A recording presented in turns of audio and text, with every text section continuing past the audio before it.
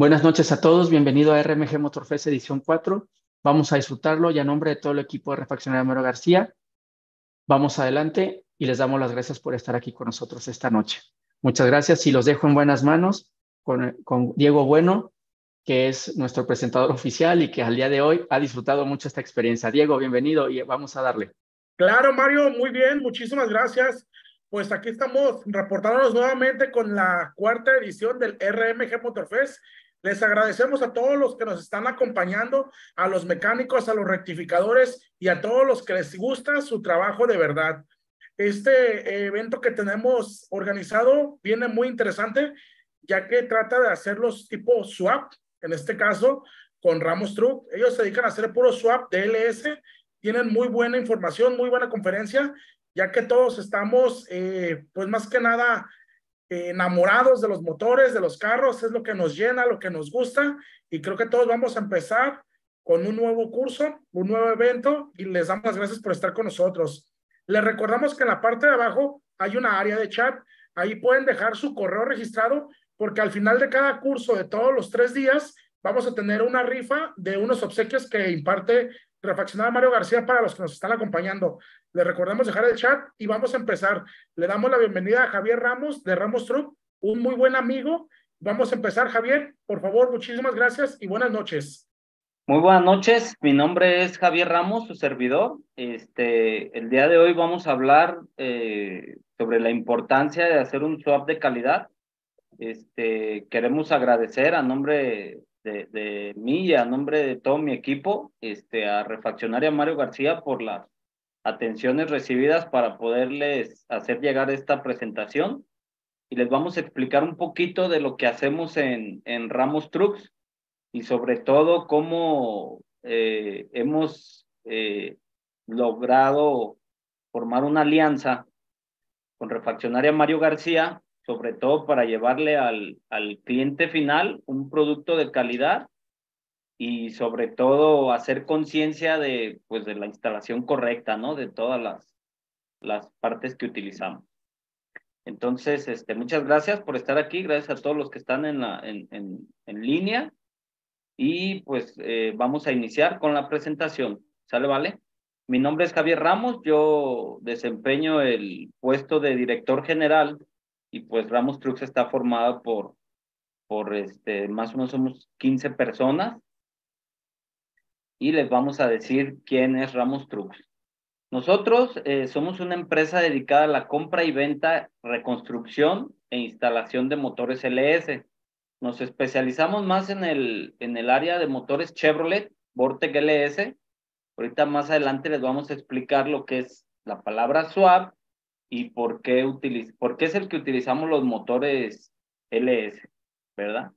Nosotros, eh, cuando nuestra materia prima, por así decirlo, lo que hacemos es agarrar un motor usado de algún yonque donde ya pues los vehículos quedan fuera de circulación y lo que hacemos es eh, llegar a un punto donde podamos ofrecer, eh, como lo ven en esta imagen, eh, ya un motor completamente reconstruido y que nos dé prestaciones mayores todavía en las que fue hecho de fábrica, ¿verdad? Nosotros, así es como nos llega un motor, así como ven en esta imagen del lado izquierdo, y así es como queda un motor después de, de haber pasado por nuestras manos.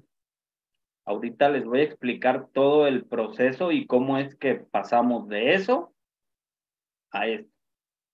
¿Verdad? El origen. Nosotros, eh, Ramos Trucks, inicia operaciones a mediados del 2019. Fue cuando realizamos nuestro primer intercambio de motor. Antes de, de dedicarnos de lleno a hacer esto, este, nosotros estábamos enfocados en la compra y venta de autopartes usadas. ¿Qué es eso? Pues es un yonque. en algunos países les dicen deshuesaderos, eh, huesarios. Eh, más al norte es donde le dicen yonque. Yonque es mm, un lugar donde tú vas y hay puros carros usados que ya no circulan por X razón. que son de choque o algunos los recogen por falta de papeles X, ¿no? No sabemos por qué situación caen ahí al, al deshuese, al deshuesadero, al yonque. Y entonces esa, esa parte es la que antes Ramos Truck desempeñaba. Más o menos duramos 15 años en, en ese medio. Y entonces de ahí brincamos al, al primer intercambio del motor. En este primer intercambio, este, nosotros, este fue nuestro primer eh, swap o intercambio de motor. Lo hicimos en esta camionetita Chevrolet. En esa ocasión este, le instalamos un motor 5.3 LS, que en esa, esa, vez no se reconstruyó nada. Eh, en esa vez utilizamos un motor usado que estaba en buenas condiciones. Eh, se lo instalamos a la camioneta. E, ese motor era de un Silverado como 2001 más o menos, un 5.3. Entonces agarramos motor, transmisión, este fue nuestro primer arnés que, le metimos mano y pues se lo metimos a la camioneta. La verdad es que teníamos solo el conocimiento básico, eh, pero la verdad es que quedamos muy contentos con los resultados y sobre todo con la experiencia que le brindábamos al cliente, ¿no? Que es una troca, una camioneta, pues ya de un modelo atrasado, pero podríamos eh, modernizar un poco todo el tren motriz. En esa ocasión, pues, por ser el primer proyecto, pues eh, usamos partes usadas en buenas condiciones y la verdad es que nos gustó mucho el, el resultado. Entonces es de ahí donde ya nos empezamos a involucrar más y ya buscamos como perfeccionar un poco todo el, el tema de, pues, de la instalación y ya nos metimos más, un poquito más en el tema de los swaps. Para la gente que, que no está muy relacionada con, con lo que es la palabra swap, la palabra swap es una palabra en inglés que significa intercambio o permuta.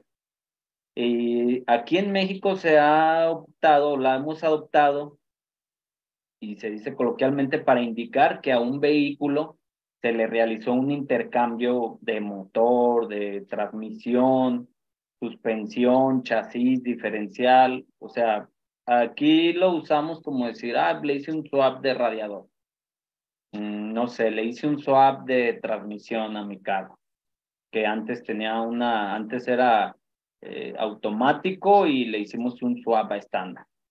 Este, no sé, pues le hice un swap de marcadores, antes eran de un tipo y ahora son digitales todo lo que es un intercambio que en, un vehículo, aquí se le nombra swap. Se adoptó esa palabra y, este, y, ahí fue donde ya nosotros empezamos a investigar todo este rollo, ¿no? El origen, ¿por qué les dicen swap? Este, bueno, porque es un intercambio y esto ya se hacía en Estados Unidos.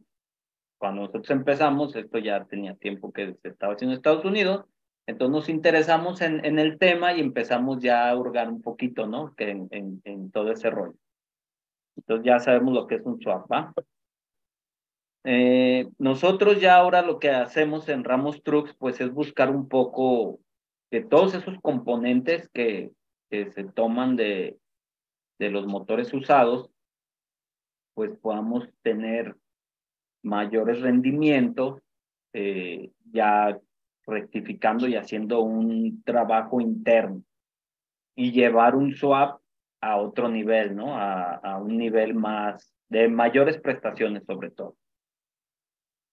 Eh, nosotros optamos y mucha gente optó por, por utilizar los motores de Chevrolet DLS porque realmente son eh, motores muy compactos, eh, donde quiera hay piezas donde quiera puedes conseguir piezas para LS y eh, son sumamente fáciles de conseguir. Entonces, cuando inician los primeros motores LS fue en el 97. Aquí nos dice, la familia de motores comúnmente llamada serie LS debutó en 1997. General Motors lo llamó el motor de bloque pequeño generación 3, con las versiones de bloque de hierro en las pica, como lo vimos ahorita en el video de la camioneta roja, ese era un, motor de un Silverado y traía el bloque de hierro, cabezas de aluminio. Y el LS1, el famosísimo LS1, que es el, el primer LS que salió, ese era completamente de aluminio.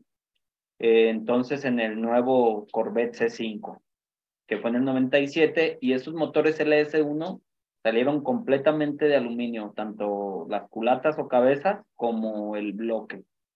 Este, la gente empezó a notar que estos motores eran muy fáciles de modificar. Le hacían alguna modificación pequeña y le podían sacar mucho caballaje. Entonces, eh, pues la, la familia de General Motors siguió remitiéndose a su moderna familia de motores V8 en el generación 3, que llegó más o menos hasta el 2007. Después sigue con el LS, hasta el 2013 le nombran generación 4 pero para los aficionados que rápidamente reconocieron el tremendo potencial de desempeño de los motores, cada motor de la plataforma se le denomina LS. Tiene un significado que dice, es, significa Luxury Sport, que quiere decir como elegancia y deportivo.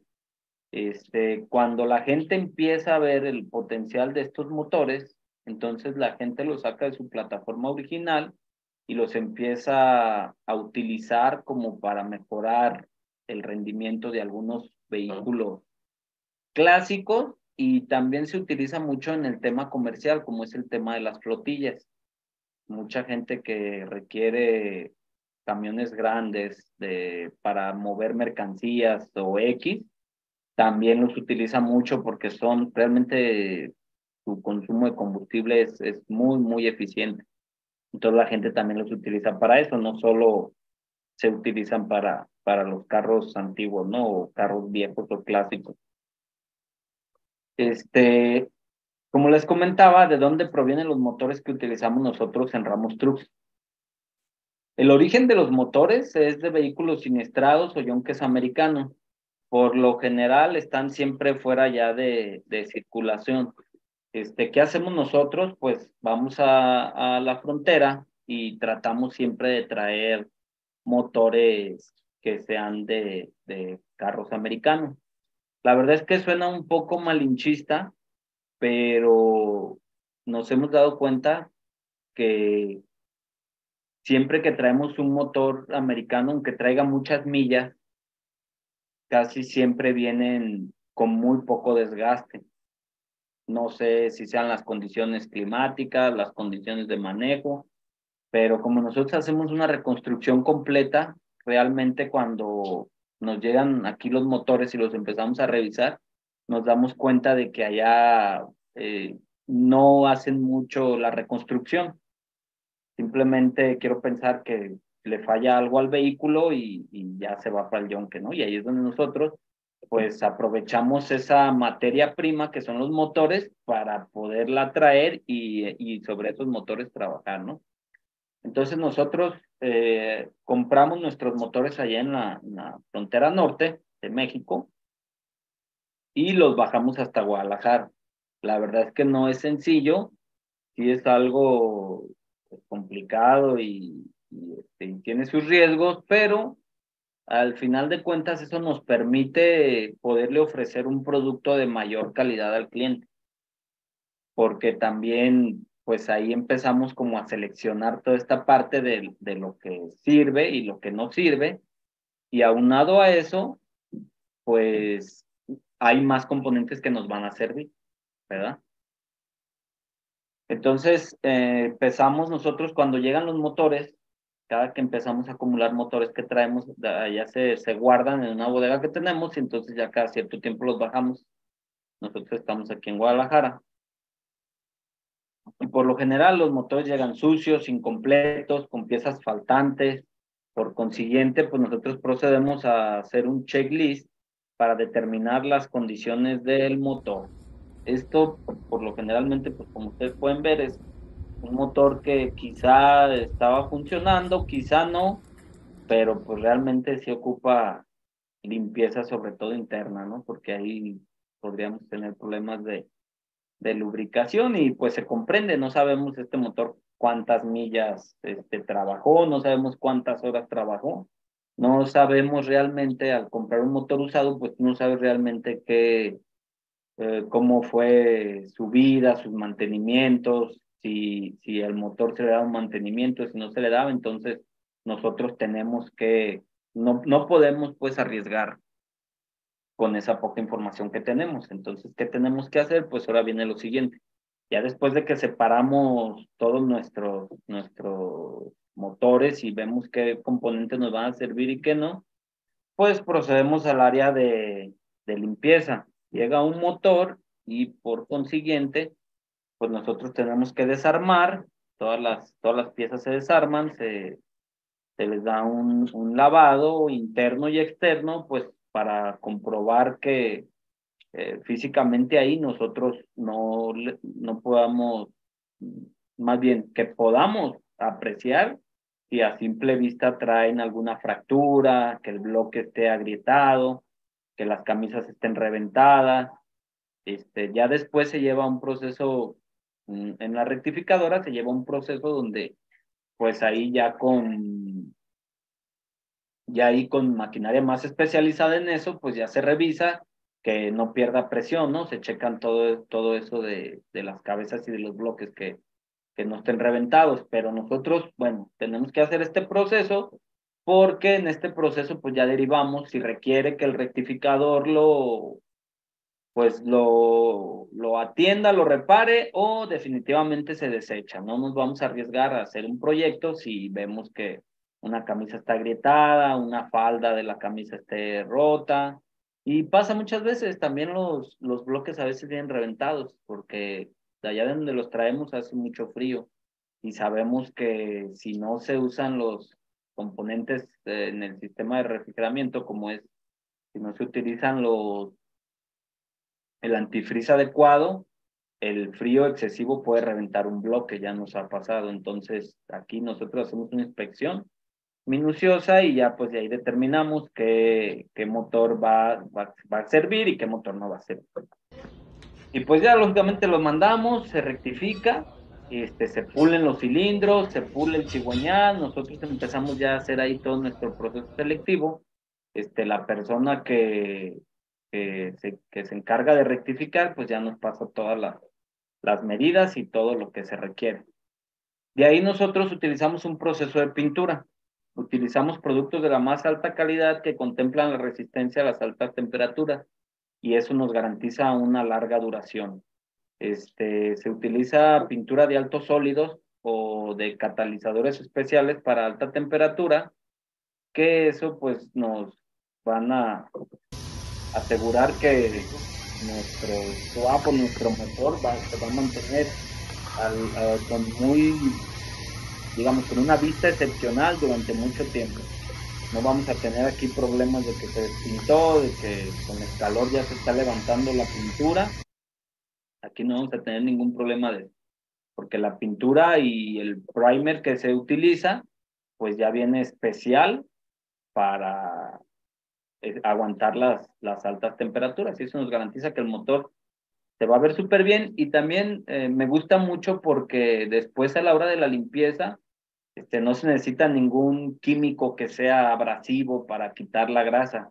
Realmente al estar toda esta pintura como encapsulada, este, es muy fácil remover la suciedad, no, no es tan complicado. Entonces, pues ahí tenemos un punto a nuestro favor, que cuando quieres lavar tu motor, se lava con pura agua y no vas a tener ningún problema de nada, ¿va? Este, empezamos, ahora sí, ya pintamos, ya revisamos, ya estamos completamente seguros de que el motor que vamos a armar está en buenas condiciones. Entonces, ¿qué viene? Pues viene el proceso de, de armado. Nos llega un bloque completamente sin ningún accesorio de nada. Y entonces aquí nosotros procedemos a el armado del cigüeñal, que es lo primero que, lo primero que vamos a hacer a la hora de empezar a armar el motor, ya con piezas pintadas, pues lo primero que viene es eh, tomar las medidas correctas de los cojinetes o metales del centro.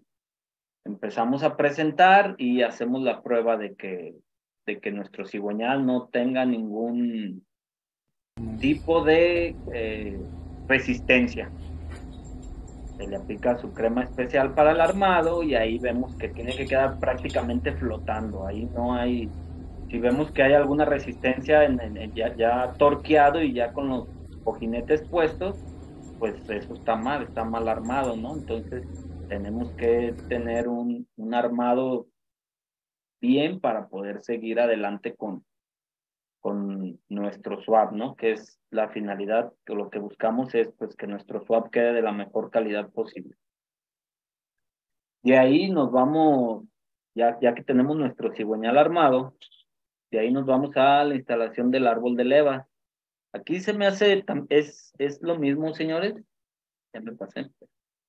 Lo mismo, este, aquí se necesita tener mucho tacto y sobre todo mucha limpieza, porque donde tengamos por ahí un desperfecto o los cojinetes del árbol no sean los adecuados, este, pues vamos a tener ahí un problema muy, muy fuerte porque ahí tenemos lubricación. Los motores LS pues llevan un árbol de leva central.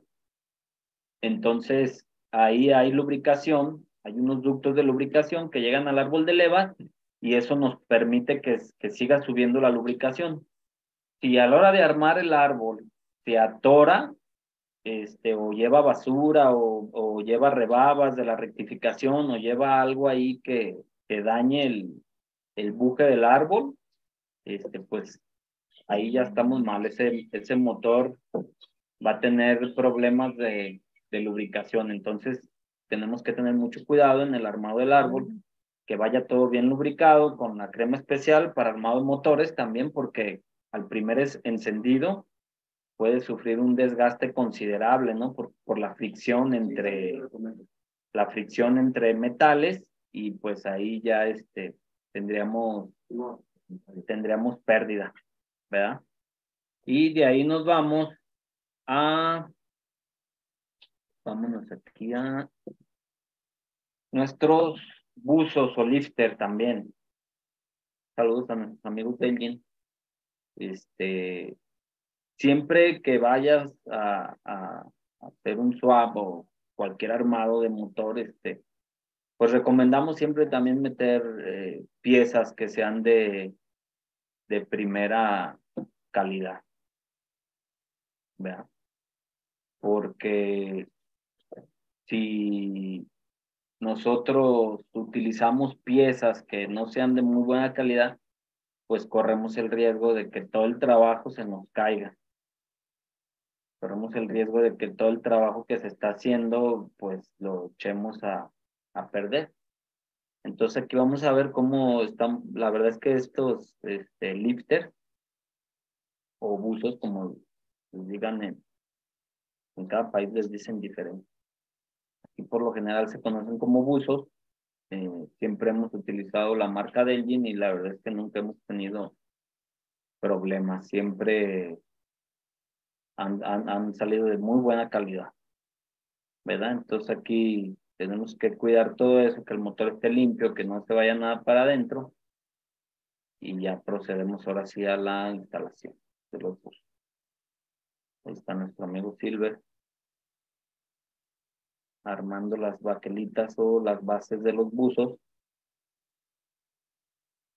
Y realmente, señores, por eso es que se utilizan mucho los, los motores LS en, en los swap, porque no es un motor complicado, es un motor muy, muy sencillo de, de armar, no hay este, maneja un solo árbol de levas, eh, la distribución también es algo muy importante, vamos ya a la distribución.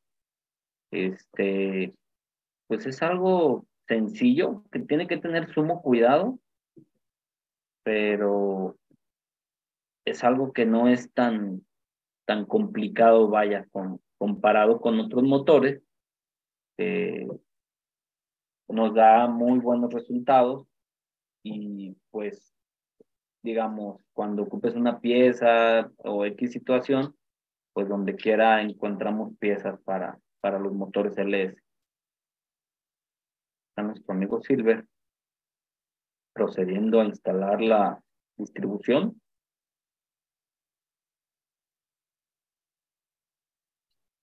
Y aquí va a ser algo bien importante, que es checar que nuestro árbol de levas esté flotando casi casi.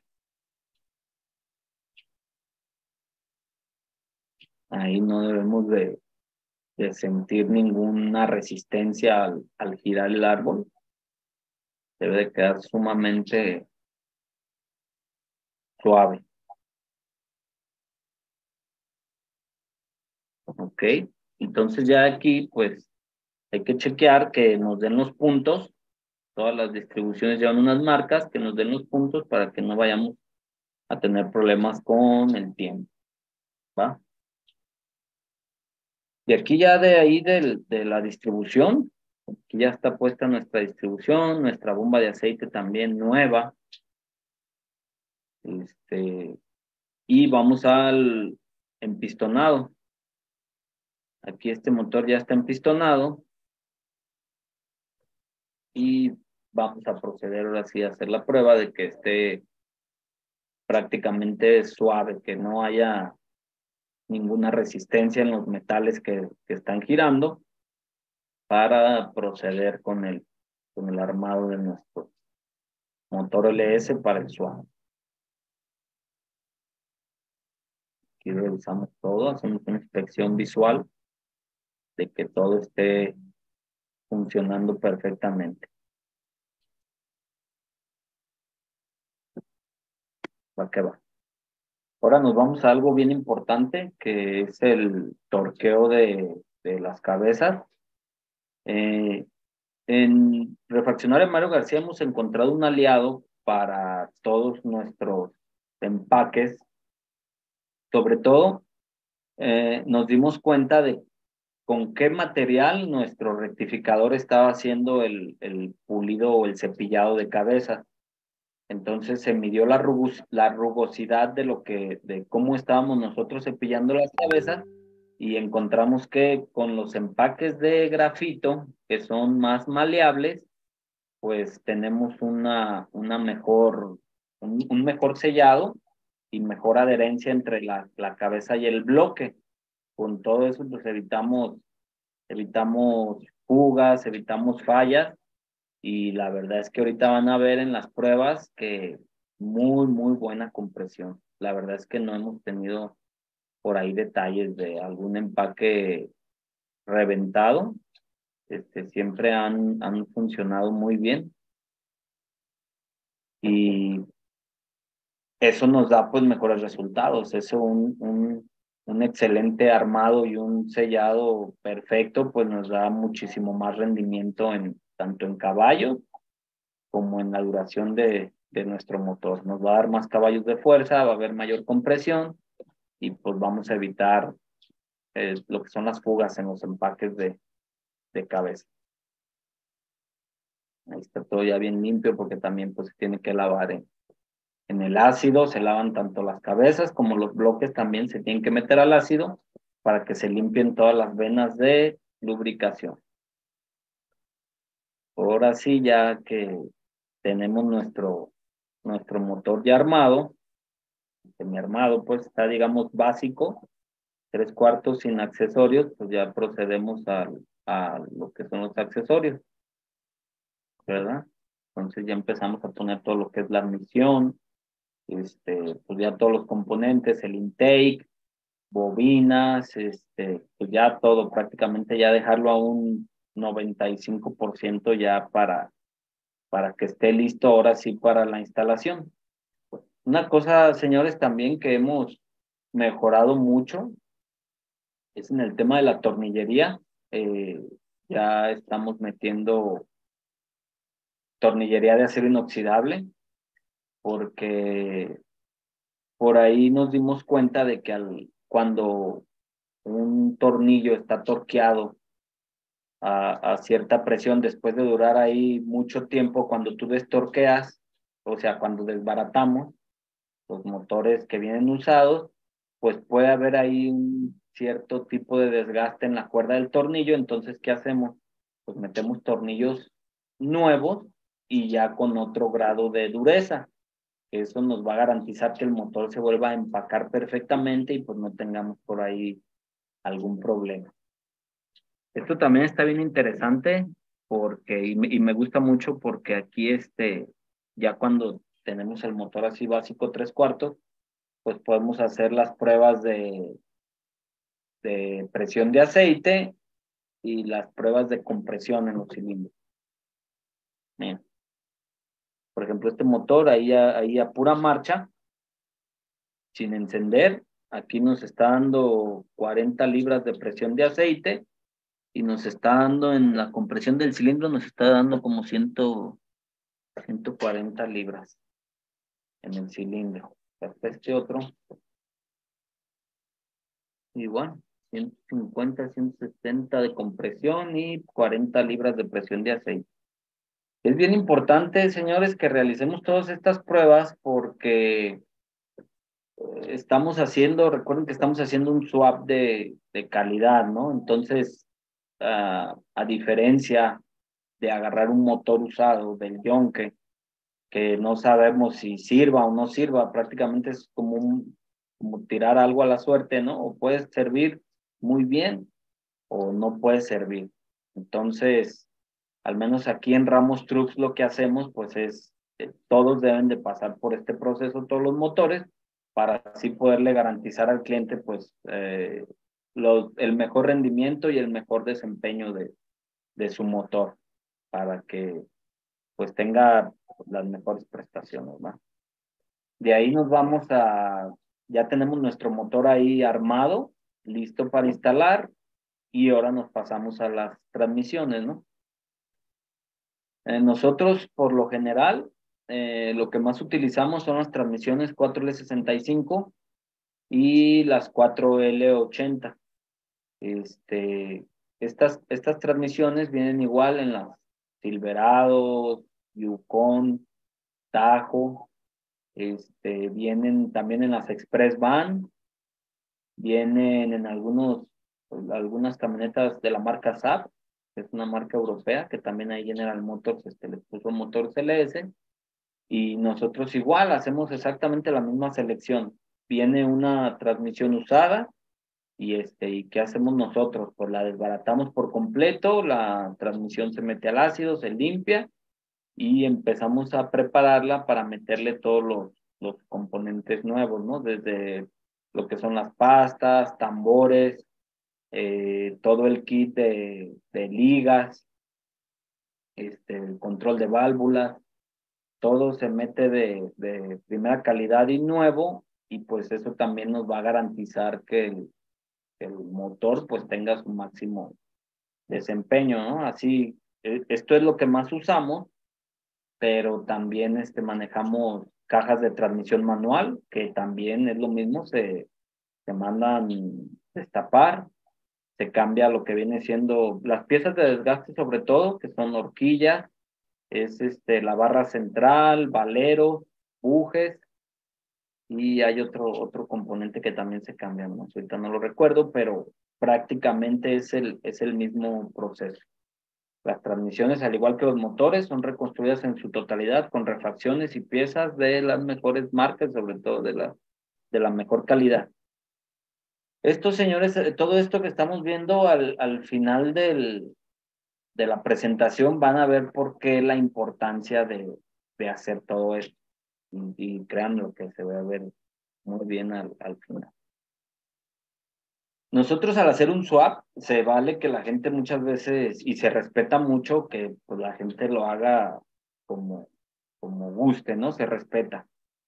Nosotros, eh, para, como estamos modificando el tren motriz, entonces, nosotros lo que hacemos es meter un diferencial este, que ya sea autobloqueante.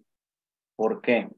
Porque al meter un, un motor LS más o menos, por ejemplo, un 5.3 nos da como 275 caballos. Un 6.0 nos da como 311 caballos. Un, un motor 6.2 nos da 450 caballos más o menos. Entonces, eh, nos llegó a tocar, por ejemplo, en el primer swap que hicimos, que vieron ahorita la camionetita roja, no utilizamos un diferencial autobloqueante o positrack también se les conoce. Se dejó el diferencial original que traía la, la troquita vieja. Entonces, ¿qué pasaba? Que cuando toda la fuerza se iba a un solo lado, o sea, llegaba al diferencial y toda la fuerza se iba a una sola llanta. este, y pues eso ocasionaba que la camioneta tuviera pérdida de potencia. ¿Por qué? Porque pues toda la fuerza estaba ahí, toda la sinergia de la llanta se ponía a patinar y este, y ahí se quedaba e, estancada. Entonces eh, empezamos a utilizar los diferenciales autobloqueantes y, y, de paso, o sea, este, ya los agarrábamos con frenos de disco. Entonces quitábamos los frenos viejos de tambor, metíamos un diferencial más moderno que ya podía bloquear las dos llantas a la hora que, que una llanta se patinaba y se, y se va toda la fuerza ahí, lo que hace el diferencial es que se laquea, se bloquea y jalan, en ese momento jalan las dos llantas parejas. Entonces ya ahí tenemos ya un empuje o una fuerza más, más óptima, tenemos un arranque ya más, un poquito más fuerte y pues mejoramos de paso el, el sistema de frenado, ya metemos un, un sistema de, de frenos de disco de una vez, todo de, hacemos esas dos partes de un, de un jalón. ¿verdad? Bueno, y entonces ahora que sigue, pues ya tenemos nuestra transmisión lista, nuestro diferencial listo, tenemos nuestro motor listo, pues procedemos ya al detallado de, de la bahía del motor. Eh, en esta ocasión, un ejemplo es que utilizamos una, una camioneta, esta es una Chevrolet 94, este, y empezamos a pintar todo el, donde se va a instalar el, el motor.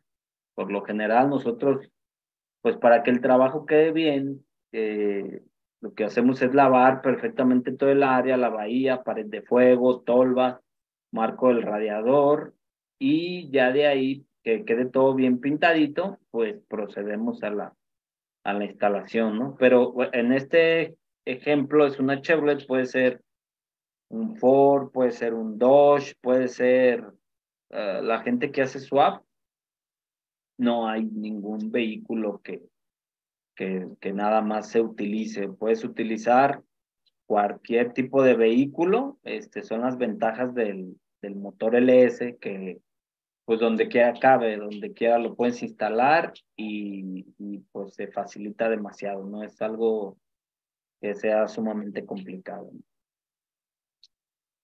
Nosotros ya ya de que procedemos a todo eso, eh, lo que sigue para nosotros es hacer los soportes de nuestro motor.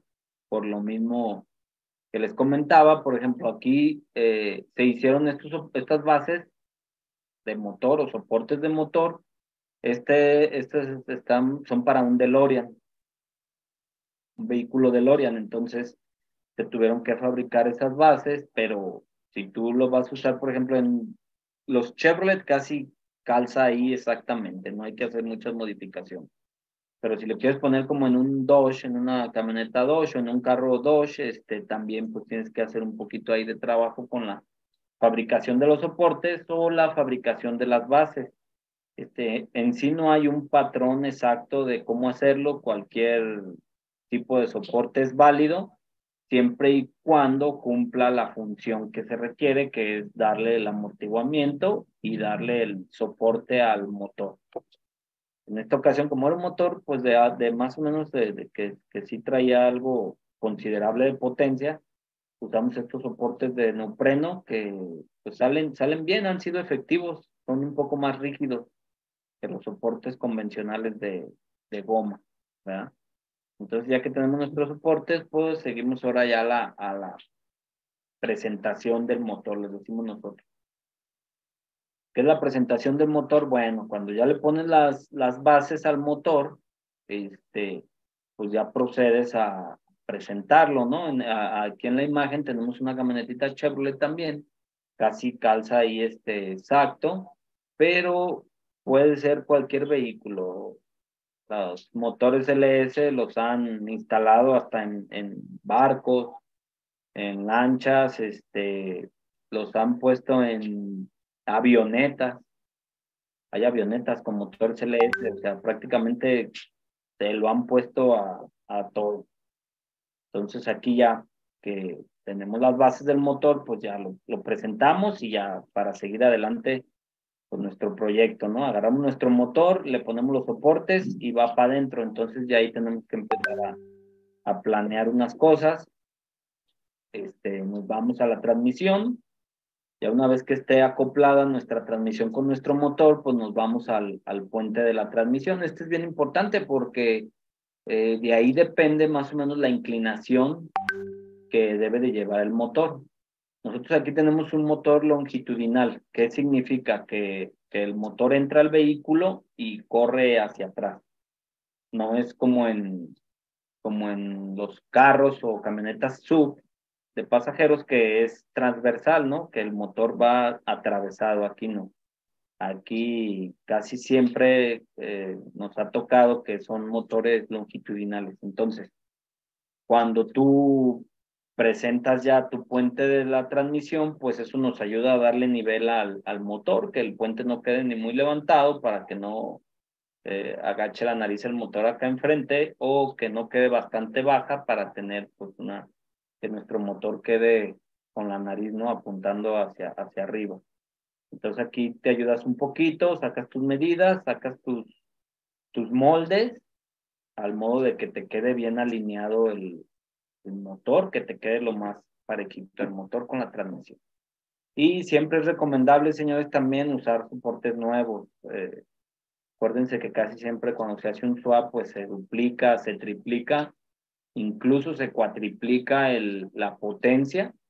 Entonces, pues no, la verdad es que no tiene caso dejar un soporte usado por muy bueno que se vea, que, ah, no está reventado, ay, o sea, no, no es recomendable dejar un soporte usado. ¿Por qué? Porque el soporte usado ya trae un molde de desgaste.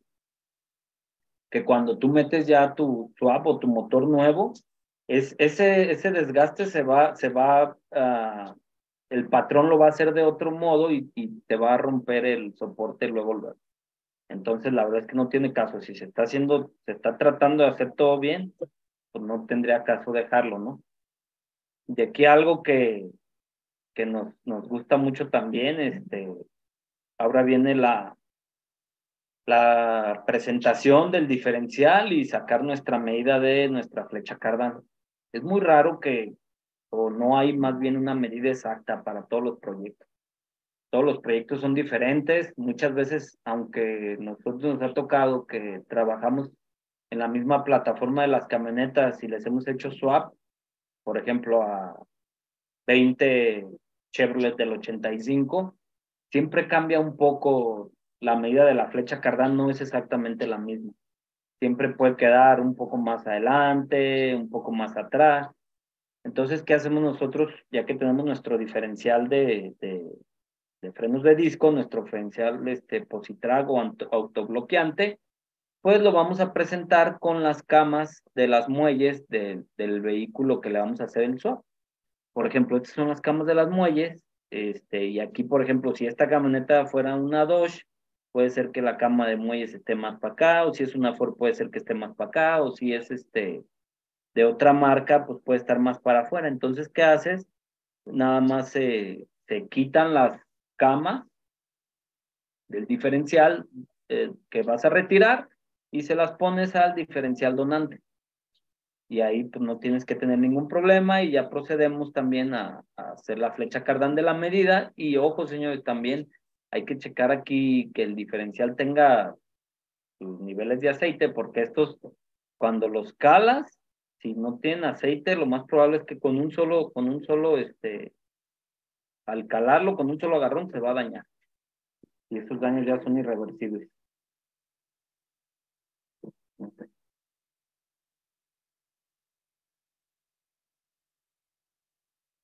Ahí estamos viendo la, la función que hace, cómo, cómo ejerce la fuerza, ¿no? La, la flecha cardán, por eso también es bien importante, señores, que cuando hagan una flecha cardán utilicen crucetas nuevas. No tiene caso este, usar crucetas usadas porque al final del día ya eso ya trae un desgaste. Entonces, cuando tú empiezas allá a, meter mucho más fuerza con la que están diseñadas, o más bien para lo que estaba diseñado, pues lo más probable es que lo va, la va a reventar o la va a troncar. Eh, otra cosa súper importante a la hora de hacer un swap, este, nosotros siempre, siempre, siempre utilizamos los headers para el motor. Hay una falsa creencia y la gente cree que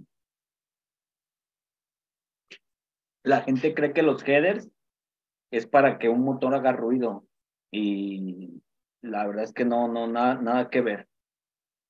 Tú puedes traer headers y traer un vehículo que no haga ruido, pues que no sea ruidoso el, escape o el mofle, como se conoce.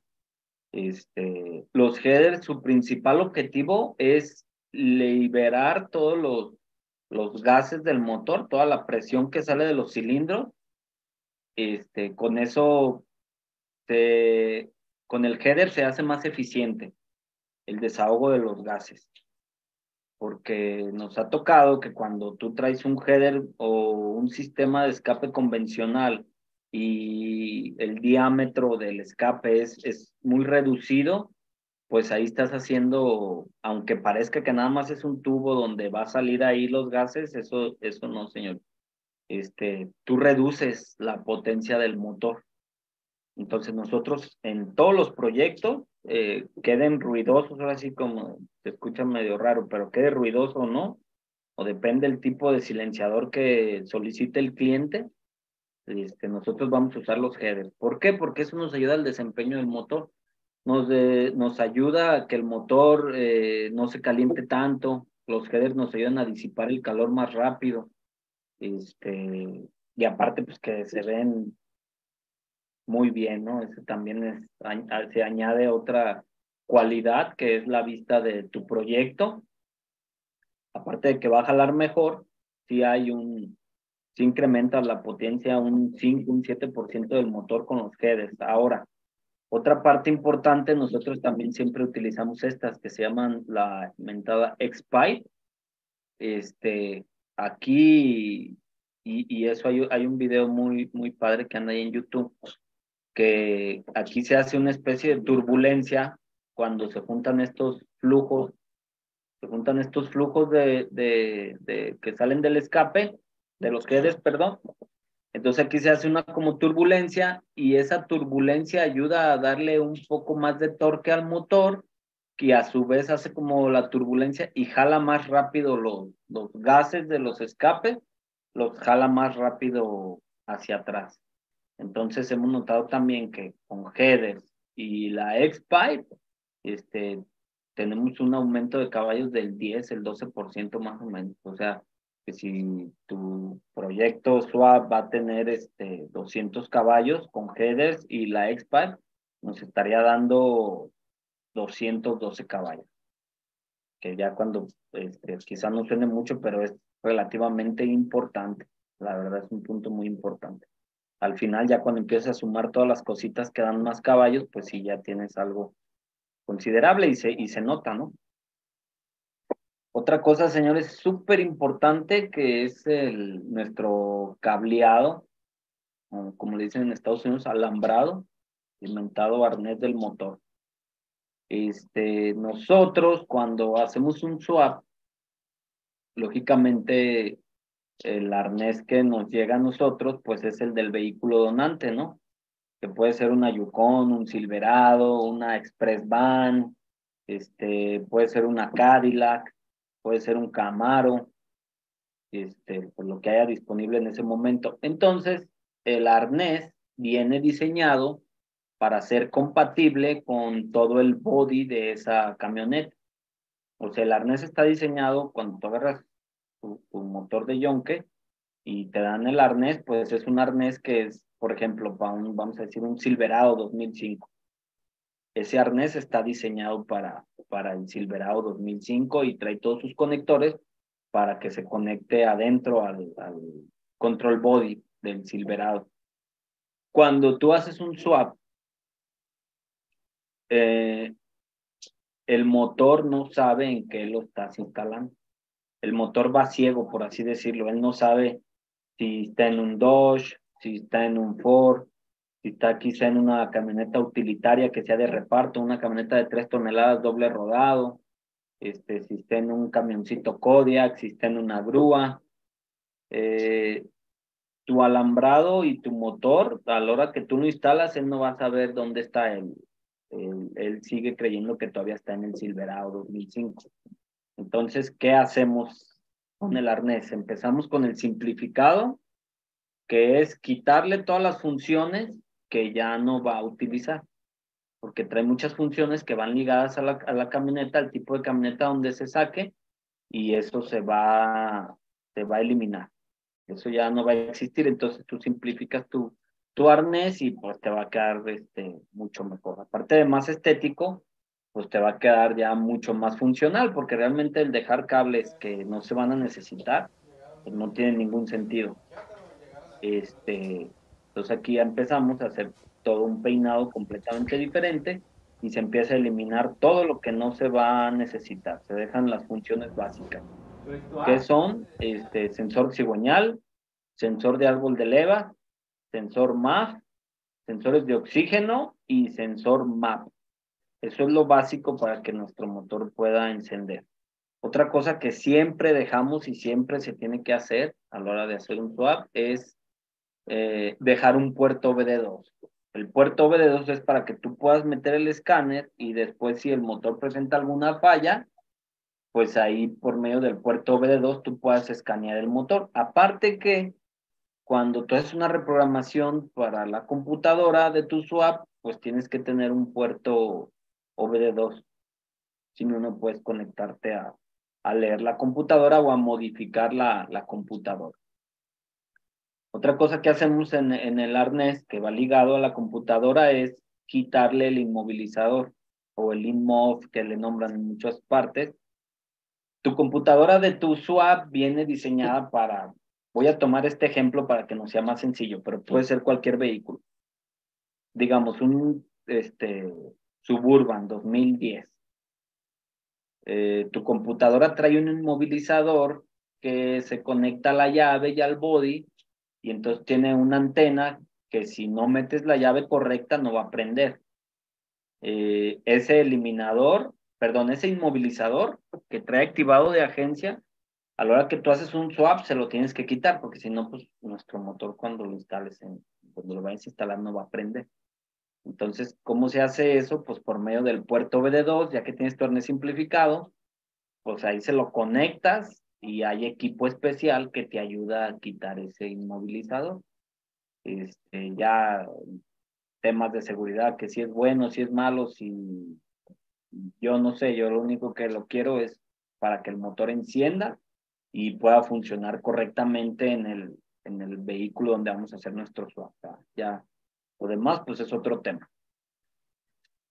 De ahí, señores, nos vamos a las instalaciones complementarias que también son muy importantes. Mm, ya aquí ya vamos, tenemos motor instalado, transmisión instalada, diferencial instalado, flecha cardán, tenemos headers y tubería de escape. Ok, ya estamos haciendo nuestro arnés. Ahorita imagínense que estamos todos ahí este, pelando cables y, y sacando nada más las conexiones que necesitamos. Nos vamos a la instalación del tanque de gasolina. Este, para que un motor LS encienda necesitamos 58 libras de presión o cuatro bares, que es la, la conversión. Este, aquí se utiliza, vamos a tomar este ejemplo, es un tanque de, un, de una Chevrolet Pickup como 85, un square body. Sacamos el flotador original, las líneas que traía cuando era carburador, esas líneas se eliminan por completo, se sacan del chasis. Y aquí utilizamos eh, manguera de alta presión. Esta manguera nos soporta es para diésel o gasolina y nos puede soportar hasta 400 libras.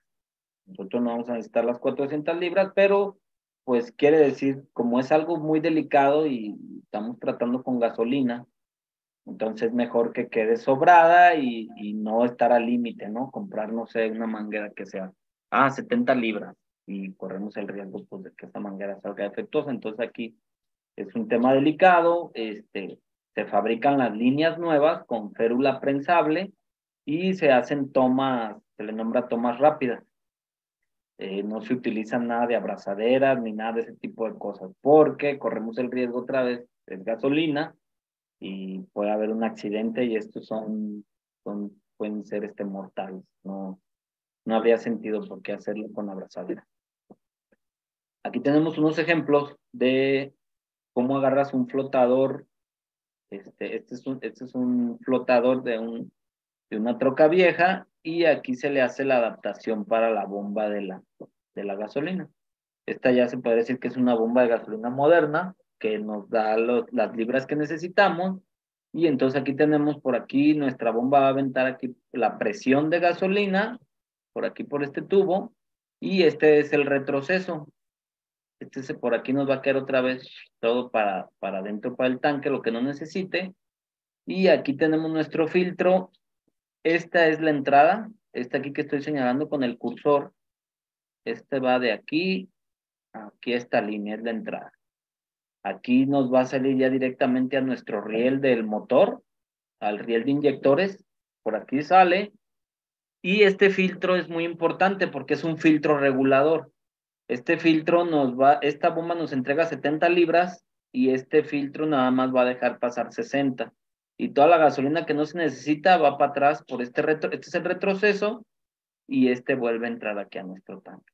Entonces, siempre traer un filtro en buenas condiciones nos va a, a dar un consumo pues bastante bueno, ¿no? De gasolina, porque todo está fluyendo perfectamente y como lo con las especificaciones que el motor no lo pide. Nos vamos ahora con las líneas de la transmisión. Si vamos a utilizar una caja de velocidades manual, pues no se necesitan estas líneas. Si vamos a utilizar una caja, una transmisión automática, sí se necesitan estas líneas, que vienen siendo estas, estas, estas de aquí, son, son tres octavos, y estas van al radiador.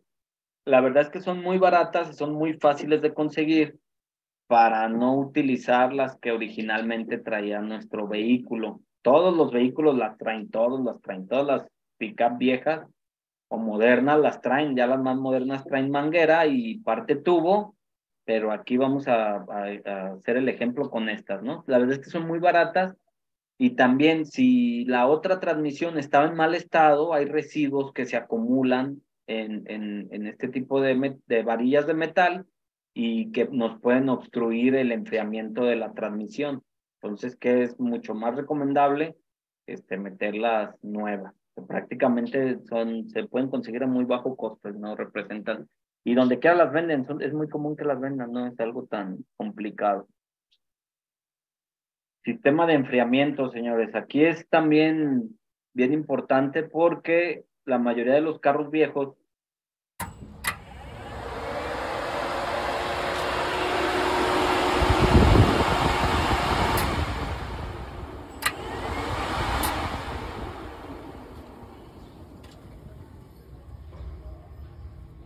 la mayoría de los carros viejos eh, originalmente traían un radiador de latón o bronce, eh, que los motores los podían enfriar con agua y no había tanto problema de corrosión, no estaban diseñados para eso. Los motores LS hay, hay con bloque de aluminio y hay con bloque de hierro, pero el LS maneja cabezas de aluminio, que si tú utilizas agua corriente, agua del grifo, agua de la llave, es, eso es veneno para el aluminio. Entonces, necesitamos que, o lo recomendable es siempre instalar un, un, radiador de aluminio y que pueda manejarse todo el tiempo con blanco.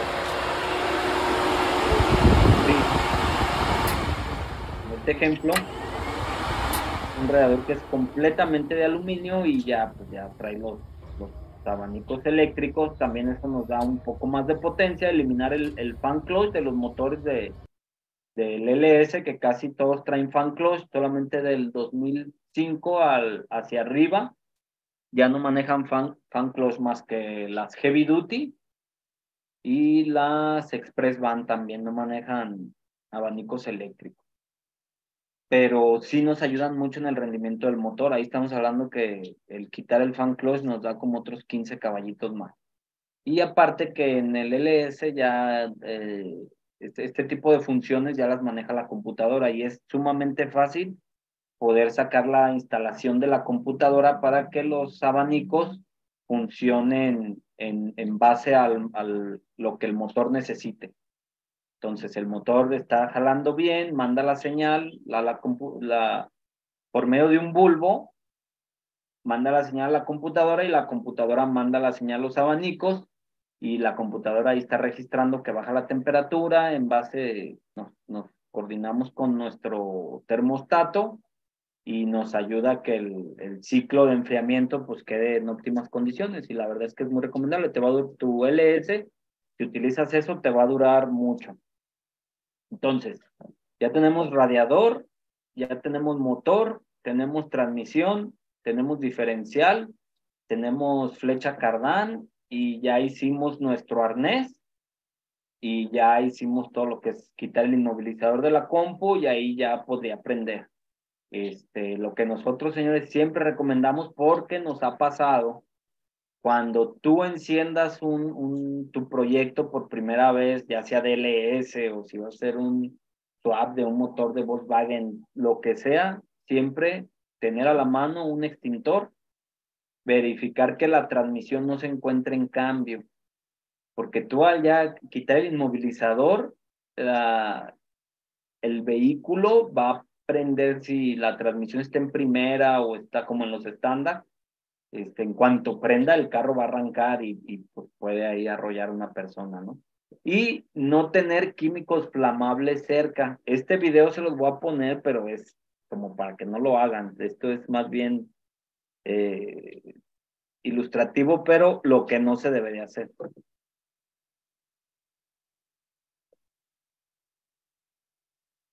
Vamos a ver si esto tiene audio. Si tiene, creo que sí.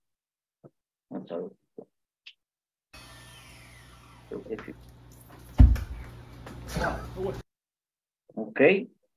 Esto está, esto está mal aplicado porque si se fijan, el, cuando viene el flamazo, lógicamente el motor está caliente adentro y tiene demasiado oxígeno, está ahí lleno de aire.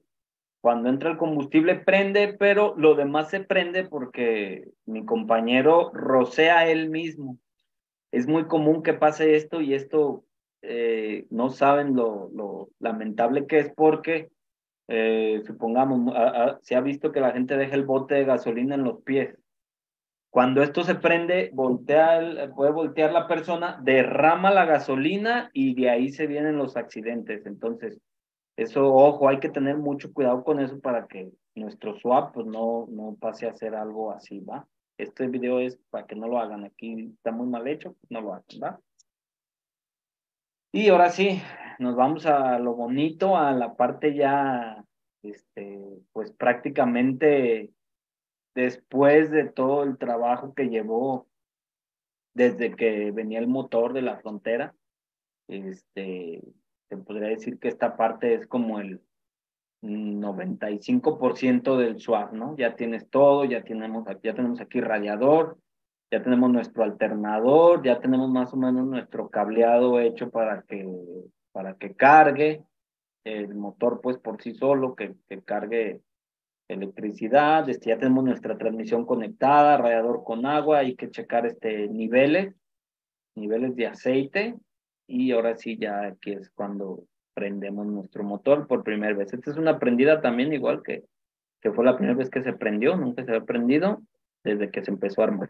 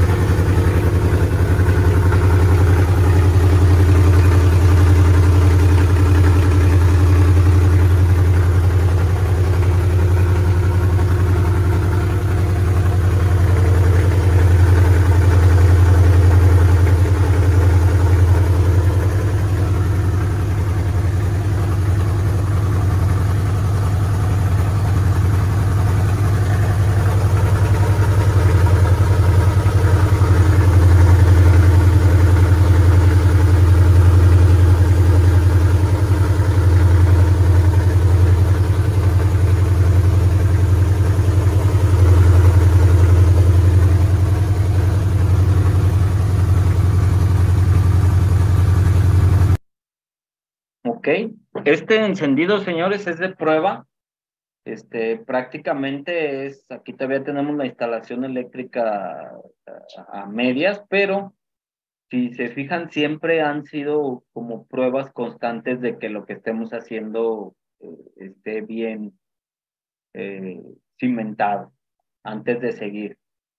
Yo no recomiendo que armen todo y que al último prueben, ¿no? Porque ya después cuando tienes todo armado, si hay alguna falla, pues es más difícil detectarla porque te tienes que ir todo el proceso para atrás. Entonces es mejor ir por pasos y en cada, en cada, más cada etapa que vas haciendo, cuando montas tu transmisión, pues checar que gire bien, que no traiga ningún atorón, que la turbina esté correctamente, y ya de ahí ya procedemos a, ya que tenemos aquí nuestro arnés, pues ya procedemos al encendido. En este tipo de pruebas checamos de que el motor prenda, que no tenga ningún ruido extraño, que tenga la, lubricación o la presión de aceite correcta, que nuestro alternador esté cargando y hay una forma muy fácil de checar que todos los cilindros estén funcionando. Este, se vierte un poco de agua sobre los escapes o los headers y entonces eso es algo, este, pues se podría decir muy artesanal hacerlo de esa manera, pero de esa manera comprobamos que todos los cilindros estén calientes y que todos los cilindros estén jalando correctamente. Cuando nosotros mojamos un header y vemos que está frío, porque cuando roceas el agua sobre los demás es como un efecto de plancha, cuando viertes el agua sobre la plancha, que, que, se oye ahí como el, de, que, de que el agua está ahí evaporando, pues entonces en un header no lo tienes, quiere decir que tienes una falla de bujía, de cable, de bobina o de inyector. Es muy común también que nos pase. Nosotros cuando hacemos esto, eh, también ya tenemos lavados y probados todos los inyectores. Pero aún así nos ha pasado que aunque se mandan al laboratorio, nos ha pasado que algunos inyectores no, no jalan correctamente y pues ahí tenemos una mezcla pobre o, o de plano no, no funcionaba. Este es, este es este, como nosotros más o menos le damos ahí a, a, esa, a esa parte. Entonces, ¿qué sigue? Puedes hacer un checklist de una unidad terminada. Checamos los niveles, verificamos los frenos, que eso también es importante, eso debería estar en la parte de seguridad checar el enfriamiento en esta, en esta prendida de prueba, pues tenemos que checar todo eso que, que nuestra bomba de agua esté funcionando correctamente. Checamos la presión de la gasolina que nos dé las libras que necesitamos, revisar toda la tornillería, que no vaya a haber ningún tornillo flojo, desde llantas, eh, soportes de motor, nuestro diferencial, el puente de la transmisión, y que todos los cilindros estén trabajando correctamente. Como les decía ahorita, eso es de suma importancia. ¿Por qué? Porque aquí ya viene otra parte que es donde la unidad tiene que salir a la calle.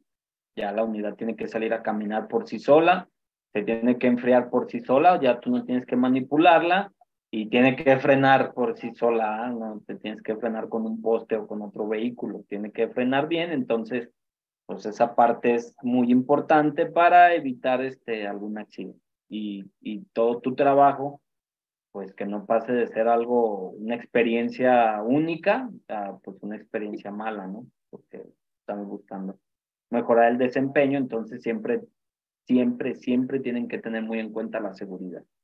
Si ven que algo no está funcionando correcto, si ven que la unidad le cuesta trabajo frenar, si ven que se está calentando, pues es mejor parar en ese momento y atender el problema, no atenderlo después de que, de que ya, ah, como que siento que no frena muy bien, pues vamos a calarla, ahorita sola va a frenar, eso, eso nunca va a pasar.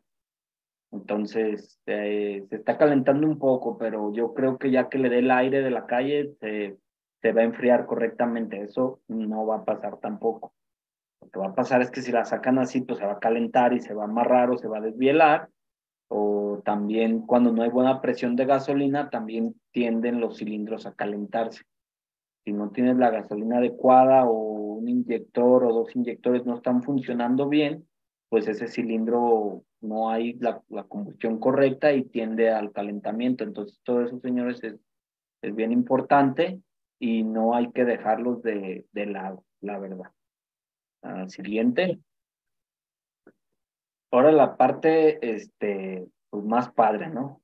Y, y, esto es, a mí, a mí me gusta mucho, casi siempre eh, a mí me toca estar cuando se hace la reprogramación y es algo muy divertido. Ahí está. Full troll.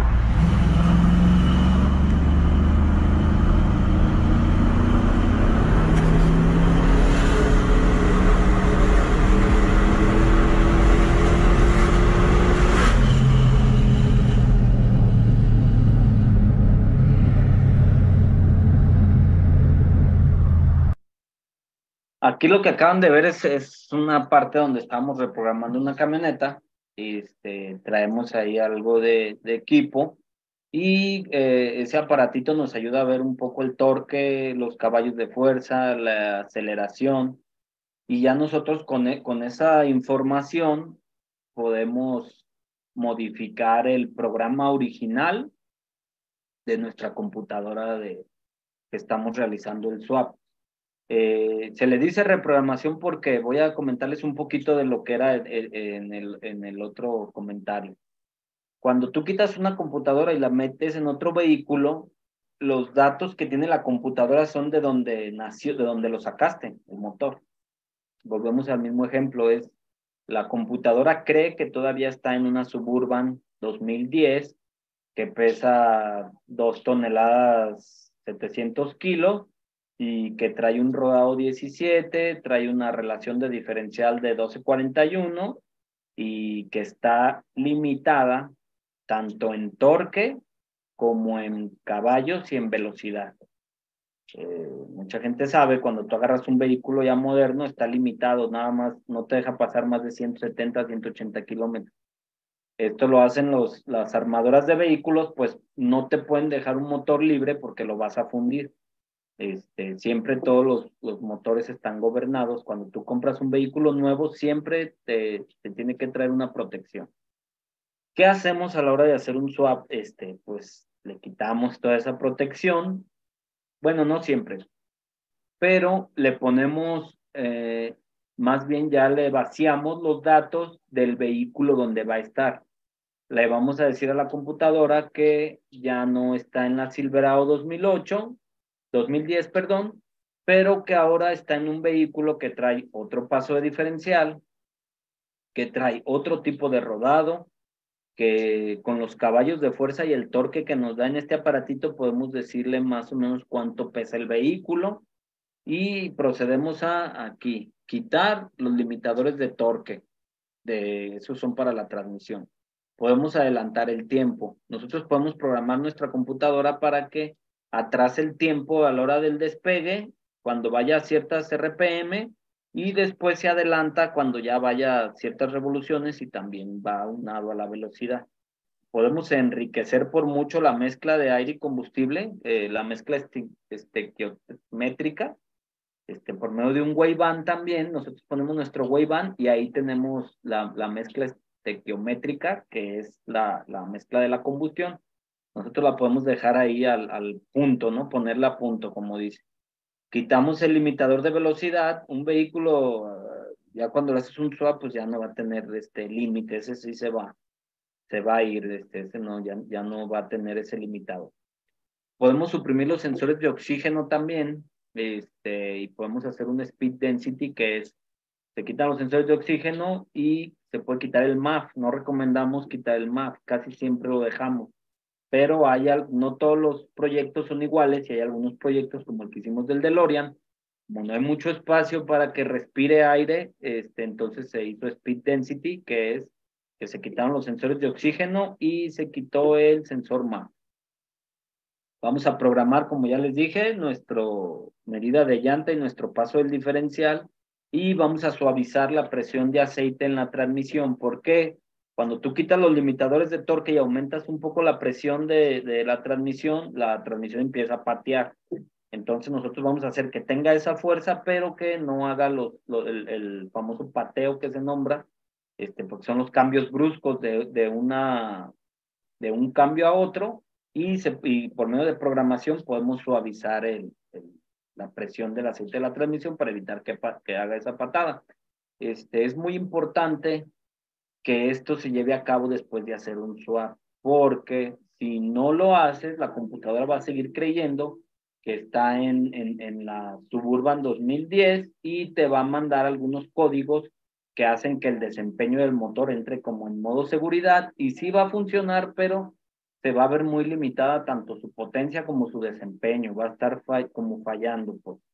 Entonces eso, a la hora de hacer la reprogramación, todo eso se, se evita y ya le das los datos nuevos a la computadora. Eso es, eso es, hay un, se podría decir que hay un, este, desempeño abismal de cuando tú no programas una computadora a cuando ya la tienes programada. Es, eso es muy, hay, hay, hay muchísima diferencia, ¿verdad?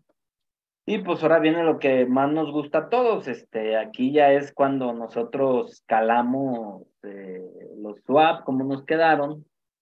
Vuelvo a decir lo mismo, nosotros en Ramos Trucks casi siempre los swaps son de motores modernos a trocas viejas, pero eh, puedes hacerle swap prácticamente a todo lo que tú quieras.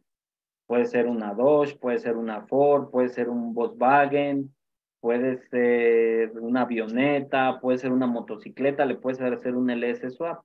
Y puedes hacerle también un swap de otro motor. Ahorita hemos estado incursionando en los motores 5.0 Coyote de Ford, este, que también se hace esta, esta parte de, del swap, se agarra un motor de un Mustang 2015-2017 y se puede poner en un Mustang 65, Mustang del 90, un, o algo de la plataforma Fox, este, o sea, realmente no hay un límite y todos son válidos, no hay, no tiene que ser Ford con Ford o Ford con Dodge o Chevrolet con Ford, o sea, aquí tú eres libre de poder hacer tu swap donde tú quieras se puede hacer prácticamente, y eso es lo que hacemos nosotros. Aquí llegó un cliente y le hicimos un swap a un DeLorean, DeLorean, como el del Volver al Futuro, ese, ese proyecto estuvo fregón.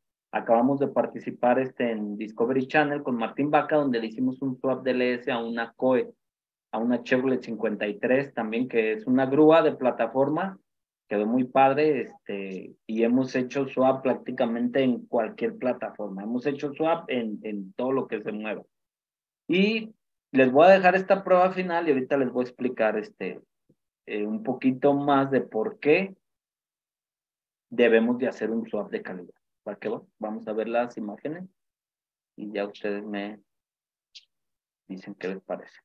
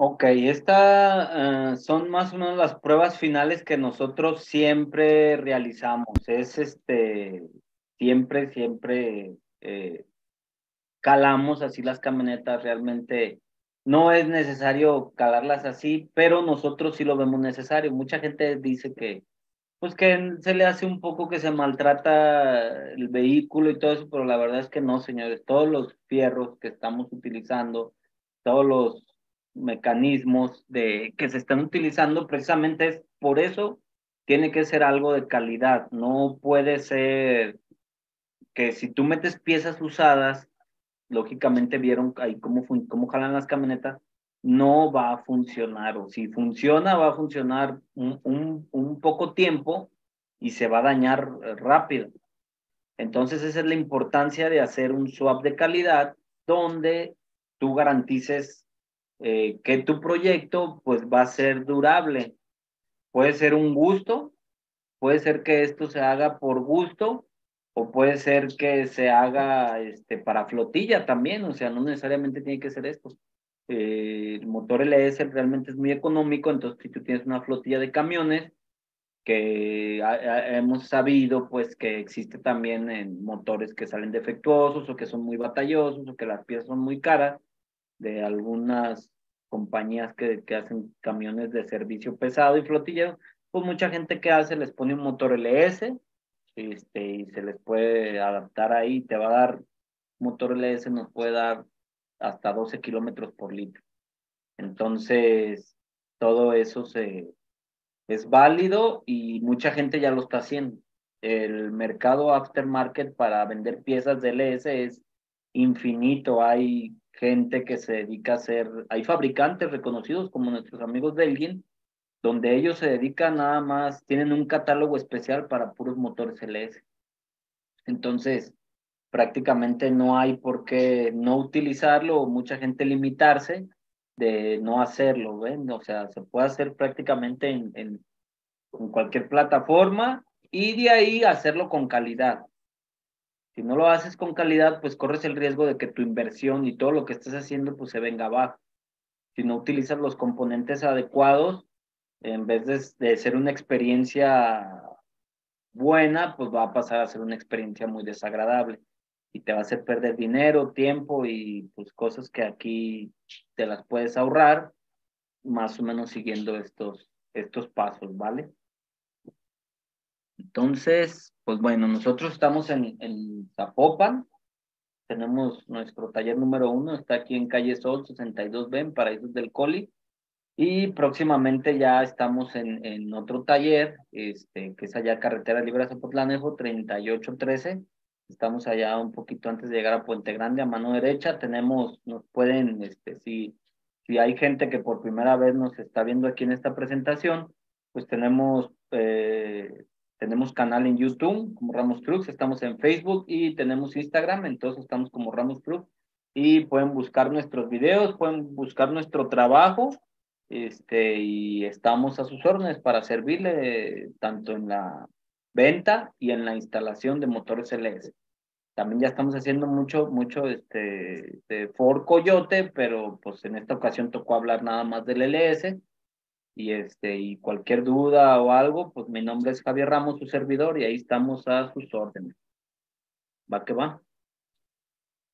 Correcto, mi Javi, muy bien, muy buena presentación, muy buena información. Te agradecemos mucho. Mira, eh, vamos a empezar con la serie de preguntas y respuestas que tenemos aquí en lo que viene siendo en la parte de abajo. Y le recordamos a la gente que no ha dejado su chat en la parte de abajo del chat, puede dejar lo que viene siendo su correo electrónico para registrarse para el sorteo. Mira, aquí nos está comentando un compañero, dice, eh, bueno, está como Xiaomi. Buenas noches, ¿qué rectificador tienen? ¿Qué rectificador tienen? Bueno, tenemos un rectificador que está aquí cerca de, de aquí del taller de nosotros. Realmente tú puedes utilizar cualquier rectificador. La persona que, que nos da el servicio se llama Guillermo y tiene su taller aquí, está prácticamente cerca de con nosotros. Este, él eh, nos no nos costó trabajo, pero él trabajamos muy a gusto con él porque pues él, la parte de que está cerca, conoce nuestras necesidades. Entonces ya tenemos mucho tiempo trabajando con él y, este, y está por aquí cerca. No tengo su dirección ni su ubicación, pero este, yo opino que puede ser cualquier rectificador, nada más que les quede pues cerca de donde estén ustedes. Correcto, mi Javi. Bueno, les paso el dato. El rectificador que comenta Javi está en la calle de Barcino número 4. Ándale. Es correcto. Aquí Jesús Fierro nos está comentando, ¿qué transmisión es recomendable para el 6.0? Ojo, esto, esto es bien importante. Eh, el motor 6.0 maneja 315 caballos. Eh, puedes utilizar una transmisión 4L65 y te va a aguantar muy bien. Mucha gente tiene la creencia que la 4L80 va a ser una transmisión que jale más duro y la verdad es que no es cierto. La transmisión 4L65, por ejemplo, las Cadillac Escalade del 2003 al 2013, traen la transmisión 4L65, es un 6.0 con 4L65 y jalan muy bien. La 4L80 está más destinada a la carga, la traen las Heavy Duty o las Express Van de 8 birlos, que son camionetas de trabajo de tonelada y media hasta 3 toneladas, y esa transmisión está bien para remolcar, trae mucho torque, pero si tú vas a poner un 6.0 en un vehículo normal, pues yo te aconsejaría que, que utilices la 4L65. Y, y, porque al final de cuentas, si usas un vehículo normal, este, la 4L80 es un poco pesada. La otra es más liviana. Entonces, si no hay, si no vas a remolcar y no vas a cargar, excesivo, yo te recomiendo la, la 4L65. Correcto, mi Javi. Aquí nuestro amigo Jair nos está comentando qué marca de empaques grafitados utilizas y si es de material blando. Sí, es de material blando y utilizamos los empaques Fraco. ¿Tú, tú tienes bien ese dato, mi Diego? ¿Cuál, ¿Qué empaques? Es correcto, los empaques que estamos ahorita surtiéndole a lo que viene siendo Ramos Truck son los empaques Fraco que es muy, muy buena calidad, este, y son ahorita los que estamos utilizando para él, para el tipo de rectificado es en exactamente material blando, en grafito. Aquí eh, Sergio nos está comentando también, buenas noches, ¿cuál bomba utilizas? Me imagino a la bomba de gasolina. Sí, bueno, aquí está bien sencillo, utilizamos para que sea el swap más compatible todo, utilizamos el repuesto del Silverado 2003. Eh, porque el Silverado 2003 trae, trae una bomba de vaso este, y sumergible, que no te va a quedar lógicamente en un tanque que, del carro que vayas a utilizar. Entonces, ¿qué es lo más recomendable? Que utilices el puro repuesto y que ese repuesto lo adaptes en tu flotador del vehículo donde vayas a hacer el Es lo más fácil. Este, consíguete el repuesto de la bomba del Silverado 2003. Puro repuesto. Muy bien, Javi.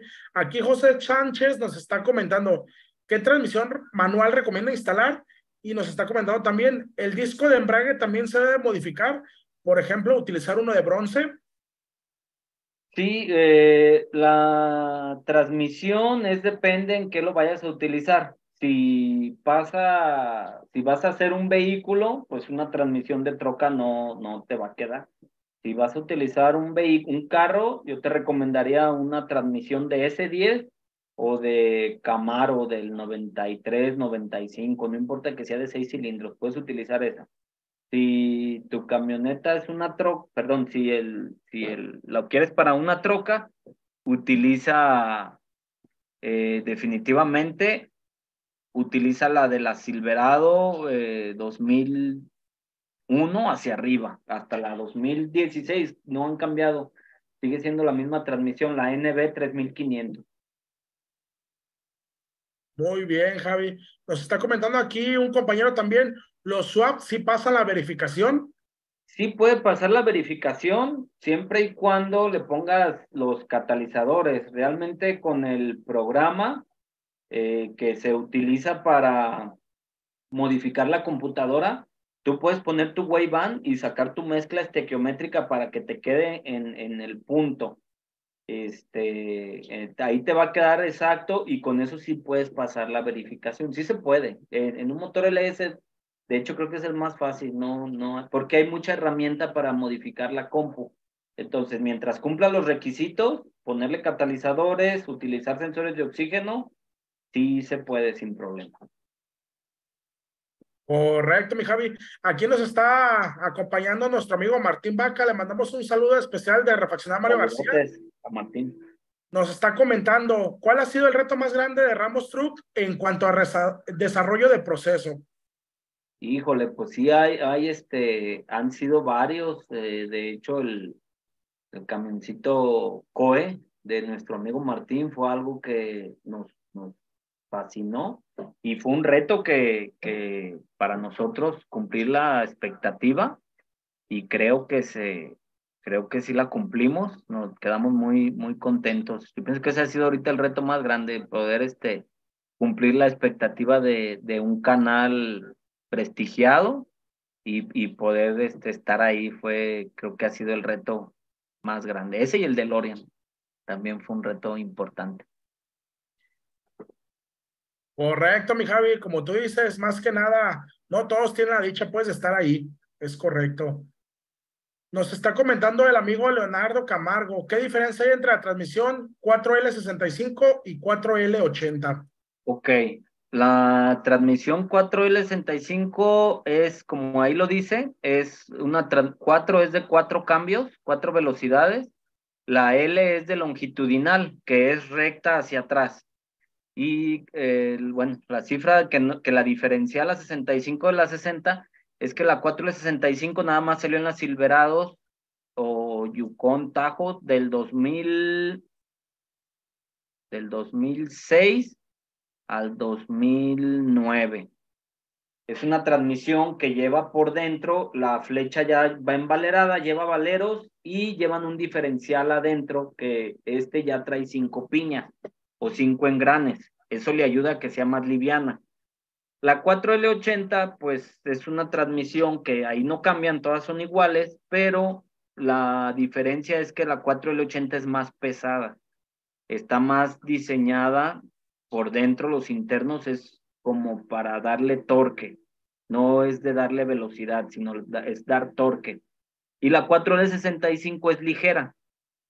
Es para hacer un proyecto más ligero y, el, y la 4L80 es para carga.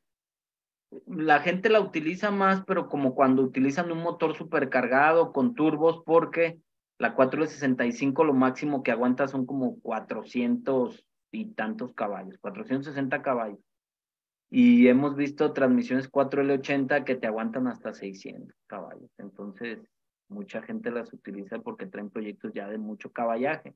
Yo en lo personal, si es algo de calle, vas a disfrutar más una 4L65 que una 4L80. La 4L80 es más gastona de gas y siempre tiende a ser como más rígida, como más dura, y la otra es muy liviana. Esas son las diferencias. Muy bien, Javi. Aquí Arlen Coronado nos está comentando cuál ha sido el máximo en HP que han llevado un swap.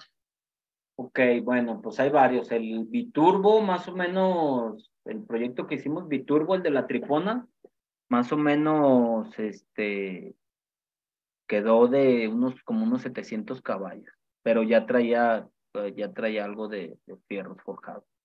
el otro que me gustó mucho fue la Nunca Vista, le sacamos a un 6-0 con un, un árbol de leva, le sacamos 480 caballos a un 6-0 stock, ese no traía nada de forjados, este, estaba stock completamente, pero este, nosotros le, le, le hicimos lo que es resortes, varillas y un árbol de nuestros amigos de Elgin. Le pusimos una 4L80 y le sacamos 480 caballos a un 6-0, que no está sobrealimentado, es, es aspiración natural. Muy bien, mi Javi. Aquí el camarada Sergio nos está comentando, ¿quién te reprograma las computadoras? Bueno, nosotros eh, tenemos aquí muy cerca un proveedor, se los recomiendo, es el ingeniero Miguel. Él tiene una empresa que se llama Motorfix. Mucha gente lo conoce aquí en Guadalajara. Con él puedes adquirir un curso. Él hace cursos sobre programación y está muy enfocado en los LS él tiene ya en este rollo de programar computadoras DLS, yo pienso que debe tener ya casi 15 años Y nosotros en Ramos Truck, yo he mandado gente, incluso yo he tomado el curso. Este, y yo he mandado aquí a mis muchachos, dos o tres de mis muchachos han tomado ese curso y te lo recomiendo. Si buscas programación, él es el indicado. Excelente, mi Javi. Aquí nos está comentando nuestro amigo Fernando Macías. Le mandamos un saludo. Saludo a Fernando. Siempre está pendiente de nuestros cursos. Nos está comentando en cuanto a documentos, qué se ofrece. Y bueno, lo mismo que pueden verificarse ese tipo de vehículos. Mm, bueno, en cuanto a documentos, tú ah, cuando haces un swap, por ejemplo, nosotros, pues siempre tienes que tener el respaldo, ¿no? De eso es bien importante, cuando, pero es otro tema, o sea, ese es un tema ya legal. Cuando tú vayas a, que si vas a hacer un swap y donde lo vayas a comprar, primero verifica que, que sea un lugar establecido y bueno, eso ya, ya no es garantía, sino que el, motor, el motor que vas a comprar tenga un respaldo legal. ¿Qué quiere decir? Pues que te lo facturen, que te puedan hacer una factura timbrada este, eso es lo que se necesita. Muchas, ya eh, un pedimento de importación pues ya no es tan indispensable porque tienes que tener una factura de aquí. Si no tienes una factura de aquí, pues sí lo veo un poco complicado. El pedimento, pues sí, sí, también te sirve, pero yo creo que es mejor algo ya más especializado, o sea, que se facture un motor a tu nombre. Realmente comprar motores así, sin papeles o algo de dudoso, es un tema muy delicado, eso ya es un tema legal, pero este, primero hay que informarse bien qué, qué respaldo te dan donde lo vayas a adquirir. Es bien importante. Correcto, es un tema muy, muy importante. Gerardo Juárez nos está felicitando por los trabajos, dice que muy bien. Y también Gerardo y nuestro amigo Jair Bustos, que también le mandamos un buen saludo, nos está comentando qué tiempo tomó un trabajo como el que mostraste hoy. Pues es, es sumamente eh, complicado darle un tiempo, cada proceso es diferente, como les decía, cada, hemos hecho 20 camionetas de Square Body o más, 50, se puede decir, y todas cambian, todas son diferentes.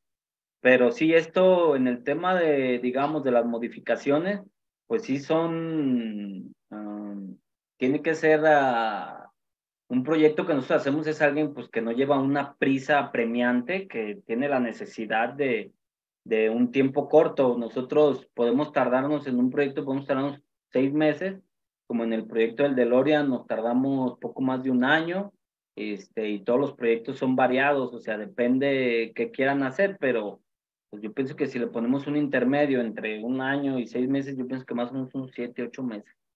Podría ser más, podría ser menos, depende pero sí todos son muy, muy diferentes. Correcto, mi Javi. Y teniendo en cuenta también que eso es solamente del tren motriz, faltaría tapicería, pintura y todo lo demás que conlleva una buena restauración de un vehículo. Sí, es correcto. Aquí un camarada Xiaomi también nos está comentando, ¿el LS se puede modificar para el cuarto de milla? Uh, es lo más modificable que hay ahorita, yo pienso que a nivel mundial, ¿no? O sea, eh, eh, y, y, digo, es lo más modificable que está más disponible para la gente normal, o sea, gente que no se dedica a las carreras.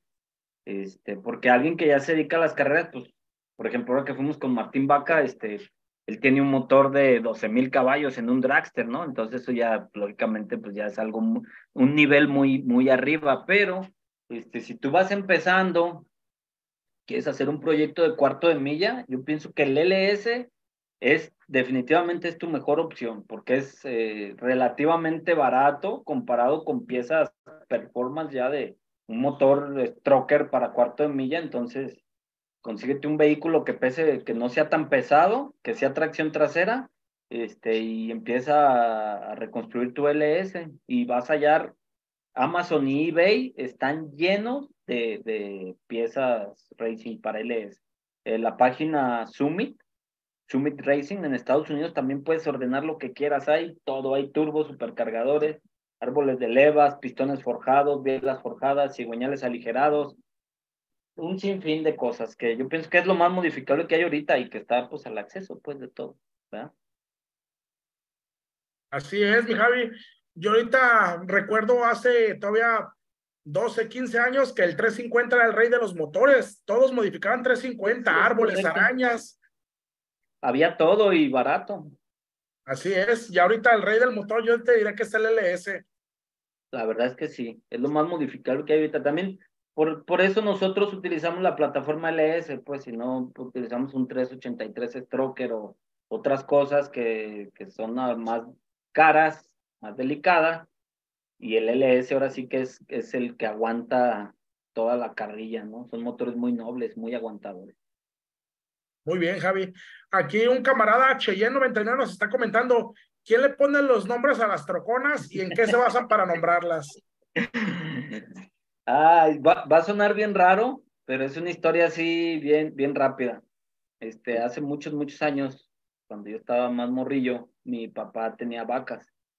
Entonces a las vacas siempre mi papá les ponía un nombre, la cuchara, la calandria, la cuerva, la fulanita. Entonces, pues aquí es más o menos lo mismo, para identificar cada, cada camioneta, pues haz de cuenta que estamos identificando una vaca. Aquí igual llega una camioneta y le vemos más o menos las características. Si es amarilla, pues la canaria, la piolín. Aparte en todo esto de nombrar una camioneta, hay una cultura en México que la gente creaba así como un vínculo con su, con su camioneta. Y pues de ahí viene todo eso, cómo las bautizaban, la paloma, este, la rogelia, la jitomata, y más, más que nada nos basamos en eso, más o menos vemos las características. Este, una vez llegó una con asientos de, de camión urbano y le pusimos la 380. Y así se le quedó, la 380. Y todos, ¿por qué la 380? Pues le abrías la puerta y eran unos pinches asientos de, de urbano, cabrón. Se le hicieron la 380. Así es, mi Javi. De hecho, hay un viejo mito en el mundo automotriz que dicen que si no bautizas tu carro, te deja tirado. Ah. Correcto. Mira, aquí Daniel nos está haciendo tres preguntas. Nos dice, tengo un Coyote de primera generación, transmisión T45, rines 20 eh, por 10 pulgadas atrás. ¿Qué diferencial recomiendas y paso? Y también él mismo nos, nos está comentando, ¿se requiere algún regulador de gasolina y cuánta presión de gasolina para el Coyote 5.0? Y lo mismo el Daniel, para Coyote, ¿qué transmisión recomiendas? ¿T45 o 3650?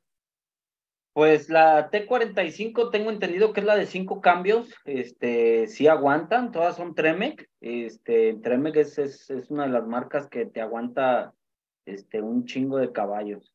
Eh, yendo a lo de la transmisión, pues depende para qué lo, lo utilices. Este, ¿Por qué? Por ejemplo, yo he hecho en un principio hacia, y llegamos a hacer con la T56, que es de seis cambios de Camaro, se lo pusimos a las trocas y vimos que no había, como que les hacía falta torque, como que la troca necesita más torque para, para que una transmisión de Camaro se, se sintiera fuerte. Si lo estás haciendo en un carro, yo creo que la T45 es la más recomendable, aunque es de cinco cambios, pero te va a aguantar un chingo. Yo, yo, si es carro, dejaría eso. Si vas a, a utilizar un coyote, pues igual con el filtro que te comentaba, el coyote también necesita 60 libras de presión de gasolina para funcionar.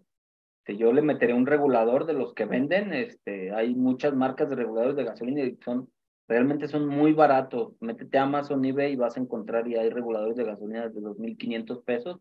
De esos ya más performance, de los que traen ahí el regulador y traen un manómetro y ahí te marca este, cuántas libras puedes darle tú manualmente y eso es lo más sencillo y, barato, pues por así decirlo. ¿Y cuál era la otra pregunta del mismo, del del coyote? Él nos comentaba el tipo de transmisión y las libras de gasolina tipo de transmisión libras, ¿no? Pues sí, ya, con el regulador y este, y la T45 sí es carro.